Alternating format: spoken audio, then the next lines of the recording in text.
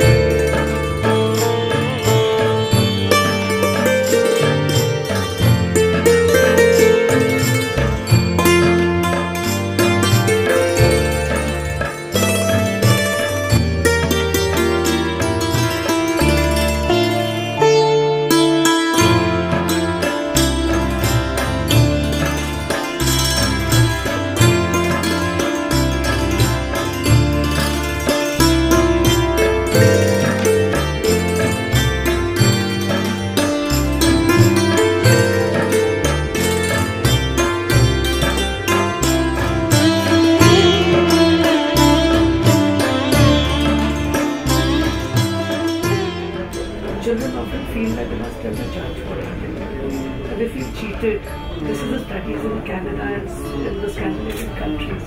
So we put in a facility. The judge must interact with the witness. Actually, we put in a designed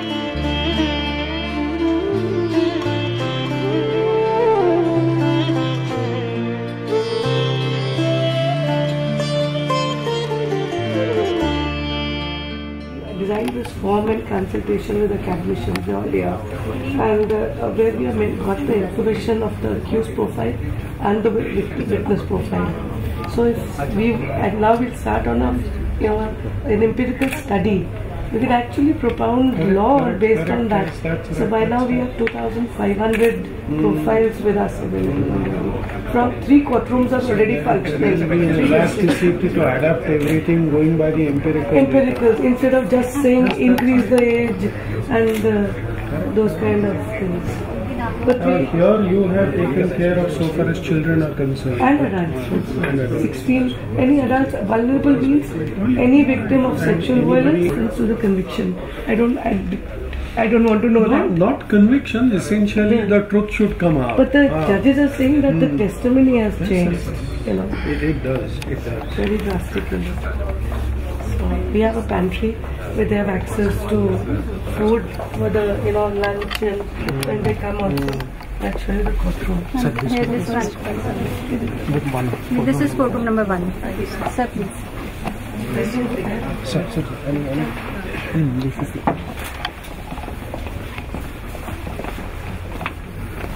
This is for the steno and uh, this will show you the accused. See this is one way. So the witness sitting there can see. They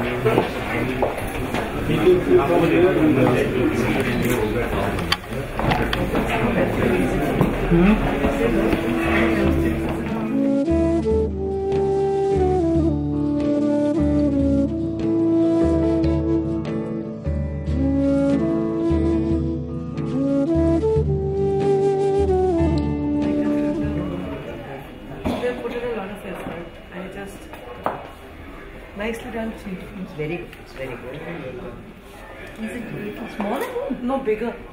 This was the original room. This whole thing was one. Public domain. No, no, no. I'm saying once he's here. Yeah. yes. Uh -huh. No, then they'll take the witness out. and the judges will be agile. But it's it's a, it's money. Should which we'll have to take it next time. But we also have 164. Uh, room. 164. 22nd, second Saturday and Sunday. Seven times, 500 are done. Only the small remainder of the hospital beds.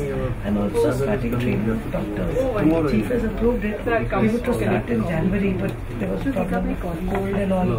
So our resource persons come from Bangalore and Mumbai. There's an organization called CEHAT. And on, uh, and on the futility or the useless two-finger test and no injury and all those issues we have very competent doctors from Bangalore. So I'm in touch with, we've already got uh, consent of the ministry and they will bear the cost. Health Ministry, Government of Delhi, three top directors, they are probably here, medical superintendents of three major hospitals in Delhi. So 40 doctors at a time. So we are starting that. But uh, it's endless. We have six the challenge is, it began when I, I called when uh, A- Justice AP, I wrote judgment in 2008-9 on rape. I had no clue about 376. It was my first, and uh, I never realized that it will become. The Verma Commission used that judgment. He's quoted it in 16 pages. Then Chief Justice Shah appointed a committee working on guidelines and sections. He put me there. Three years of research and work. 2012 we inaugurated the first courtroom but uh, they have to give space. So now Justice Ramana was there, sir. First time. When Justice N.V. Ramana was the Chief Justice. Yes, we know. committee was yes. Chief Justice Ramana Karkardooma. first Dr. Was the first uh, complex. He, Justice Teji was the only one who gave space. After that, they were clamoring. They were so envious because it was so important. So, yes, Chief Justice Ramana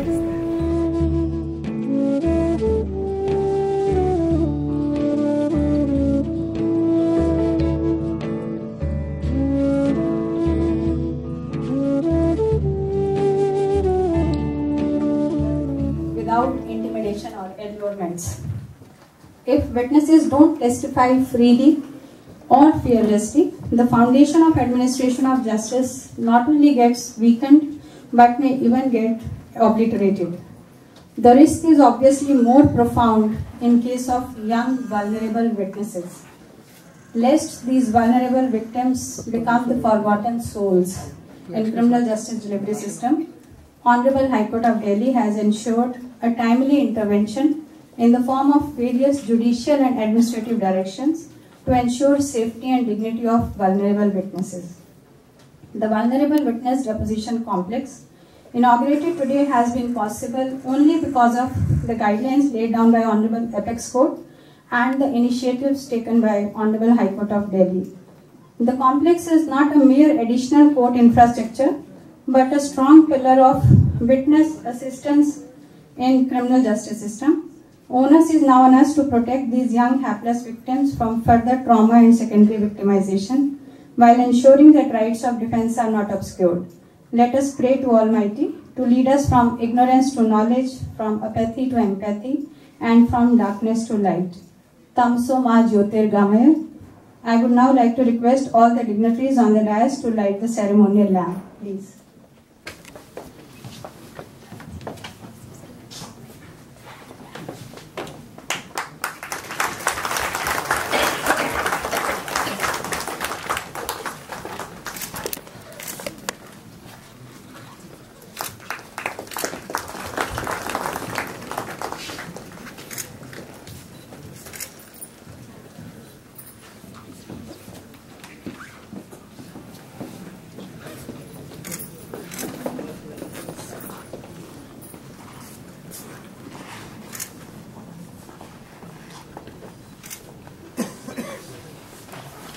May I now request Honorable Miss Justice G. Rohini, Chief Justice High Court of Delhi, to present a potted plant to Honorable Mr. Justice Uday Umesh Lalit, Judge Supreme Court of India, as a token of respect.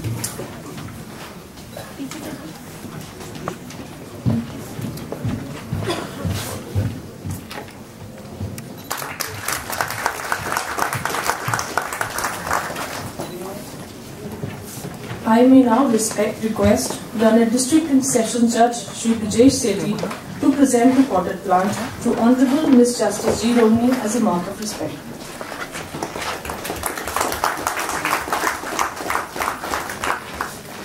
I may now request Ms. Mamta Dayal, Chairperson of the Vulnerable Witnesses Deposition Committee, to felicitate Honorable Ms. Justice Geeta Mittal, Judge by presenting a present.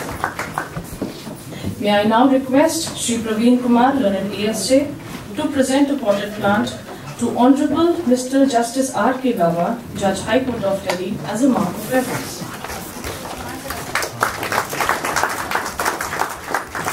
May I request Mr. Paramjeet Singh, learned ASJ, to felicitate Honorable Mr. Justice, to felicitate Mr. P.S. Teji, to felicitate Honorable Miss Justice Sangeeta Jindal, uh, to felicitate Honorable Miss Justice Anu Malhotra as a token of respect.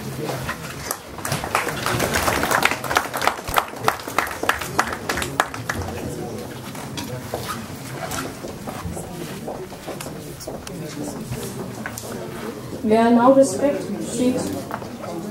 Sri Sushil Anuj Tyagi, learner ACJ, to present the quarterly plant to learned district and session judge headquarters, Ram Ravindra Kaur, as a token of respect.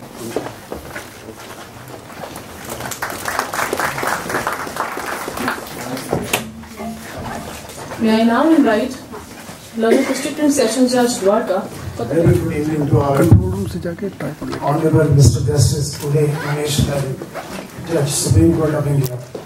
Honorable Madam Justice G. Rohini, Chief Justice High Court of Delhi, Honorable Mr. Justice R. K. Gauba, Honorable Madam Justice Anu Malhotra, Learned District, my colleague on the dais, Madam Ravinder Kaur, Learned District and Session Judge Headquarters, Learned District and Session Judges present here, Shri Breeze Katpalia, Registrar General High Court of Delhi, Shri S. C. Suri, Registrar Cum Secretary the Honorable Chief Justice High Court of Delhi, Shri B. T. Kaul, Professor, Chairperson, Delhi Judicial Academy, Learned Senior Advocate, Secretary Law, my other colleague judicial officers, Shri B. S. Jakar, President Dwarka Bar Association, and Chairman Coordination Committee of all the bars, Shri Rajeshwar Nagar, Honorable Secretary Dwarka Bar Association, President and Secretaries of other bar associations, Director Prosecution, Learned Public Prosecutor, Prosecutors, distinguished guests, ladies and gentlemen. I am greatly honored and pleased to welcome you all on this occasion of the inauguration of the For an effective justice within this system, it is must that the witnesses, particularly those who are vulnerable, are provided an environment where they can be most freely and comfortable. In order to secure reliable evidence of such witnesses, it is necessary that special measures are adopted and due assistance is provided in recording their statement creation of vulnerable witness deposition complaints at Dwarka Court is one step in that direction. This occasion, we welcome Honorable Mr. Justice Uday Umesh Lalit, Judge Supreme Court of India. My lord has vast experience in various fields of law. His lordship was special public prosecutor of CBI in 2G matters as well. My lord was elevated as Judge Supreme Court of India on 13 August 2004. My Lord's special for imparting knowledge of law and our good fortune coincided and we were fortunate to hear my Lord on 21st January 2017 in Indian Law Institute on various aspects of law on bail. My Lord said that when he came to know that law relating to bail is being discussed, my Lord said he get, get crashed. But for us, it was our first crash with fine aspects of law relating to bail. William Arthur Ward has said, feeling gratitude and not expressing it is like wrapping a present and not giving it. And sir, I don't want, don't want to keep the present of wrapping the same and therefore express my gratitude for guiding. And we are hopeful that my Lord will keep guiding us in future as well. We welcome you, sir. We also welcome Honorable Ma'am Justice G. Rohini, Chief Justice High Court of Delhi. Her ladyship has been actively practicing in the practice at the Andhra Pradesh High Court and dealt with civil, criminal, labor and service matters before being elevated as judge of the High Court of Andhra Pradesh. Her ladyship is the first woman Chief Justice of Delhi High Court. Her ladyship has always encouraged and guided us in this project and has been our continuous support. Her ladyship has taken up issues of protection of child, working women and better relationship between the bar and the bench. Her ladyship's profound knowledge of law and tireless are known to all and her ladyship's way of working summed up by a Burmese proverb which says that humility, affable speech and unselfish work are elements of great human beings. We welcome you, ma'am. We also welcome Honorable Ma'am Justice Geeta Mittal, Judge High Court of Delhi, who is the chairperson of the committee to monitor proper implementation of several guidelines laid down by the Honorable Supreme Court as well as High Court of Delhi for dealing with matters pertaining to sexual offences and child witnesses. Her leadership is the force behind the creation of the Vulnerable Witnesses Deposition Complex at Saket, P. Hazari and Dwarka courts. Karkardooma as well. Her leadership has personally visited this complex number of times and has gone into the minutest details of each and every aspect of the It is her leadership's vision which has resulted in creation of two vulnerable witness courtrooms, though earlier only one was planned. Her leadership's deep interest and involvement in various fields of law has strengthened the process of administration of justice. Her leadership's way of working can be summed up by a famous quote which says, We are what we repeatedly do. Excellence is therefore not an act but a habit. We welcome you, ma'am. We also welcome Honorable Mr. Justice R. K. Rawat. His Lordship has dealt with almost all the jurisdictions of law, and His Lordship, before elevation as the Judge of Delhi High Court, has been instrumental in the creation of second vulnerable witness deposition complex at Saket Courts, New Delhi. My Lord's deep knowledge on various subjects of law, his way of doing the things systematically, thoroughly, and meticulously reminds me the words of Samuel Johnson who said, the great works are performed not by strength but by perseverance. We welcome you, sir. We also welcome M. Ravinder Kaur, Leonard District and Session Judge Headquarters, T. Hazari Court, Delhi. She was District and Session Judge Dwarka before joining as District and Session Judge Headquarters. We welcome you again in this court complex. Ma'am Ravinder Kaur has also contributed a lot and taken great pains in setting up the vulnerable witness complex at Dwarka courts. We welcome you, ma'am. It is said that smile is a universal welcome. We therefore welcome you all, not only with smile, but also from the bottom of our heart. Thank you so much. Thank you, sir. On behalf of Learned District and Sessions Judge Dwarka, I welcome the esteemed guests on the dais. It is my proud privilege to invite to the podium Honorable Miss Justice Geeta Mittal, Judge High Court of Delhi, her ladyship's pioneering and perseverant efforts for the creation of the vulnerable witnesses deposition complexes in the district courts in Delhi, one of which is being inaugurated today, is known to one and all. I now invite you, ma'am.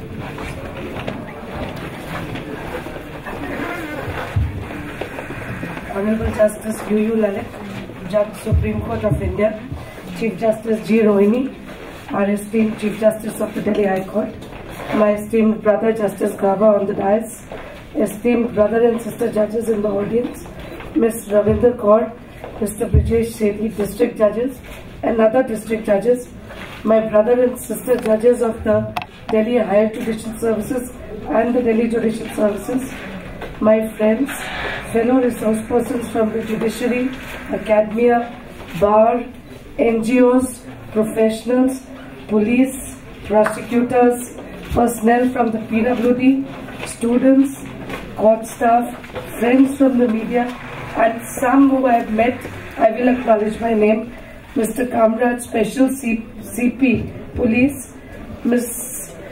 Uh, Swati Maliwal, Chairperson of the Delhi Commission for Women, Professor Ved Kumari, Professor B.T. Kaul, Professors Mrinal Satish and Aparna, Sudhanshu, Sudhanshu Batra, Sumit Verma, Varun Goswami, Asha Tiwari, I know you're there somewhere, yes. And uh, all my friends who are here, I feel truly, truly gratified by your presence and encouraged by your presence. I see executive members of the bar from Dwarka who are also present here. Thank you so much. Kirti is just uh, Kirti Uppal, President of the Delhi High Court Bar Association, JP Singh, Amit, and uh, thank you so much for coming to this function. You encourage our efforts in ensuring access to justice where it's most needed. But I have a difficulty and I have to express that I will, as you will be able to tell that I cannot speak. I've got a very bad throat infection. So I am using a proxy today. Going back to 12, 12 years back when as a lawyer you said using a proxy, my very learned and able sister, Justice Anu Malhotra, is going to read out my typed version of, of what I wanted to say to you. Thank you for your patience.